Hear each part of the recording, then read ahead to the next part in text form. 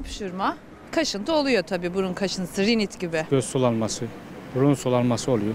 Hapşırma, kaşıntı, burun akıntısı, göz sulanması, bahar alerjisinin belirtileri. İlkbaharın gelişiyle ağır kış gribi geride kalıyor ancak alerjik bir bünyeye sahip olanlar dikkat.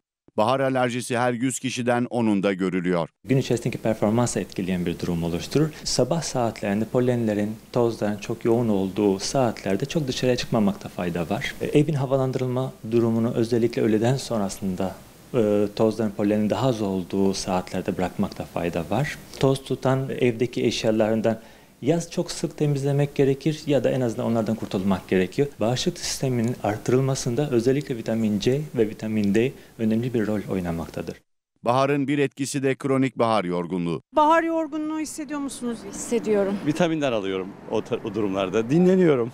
Kendimi o, o şekilde korumaya çalışıyorum. Vücudun dengesi bozulabiliyor.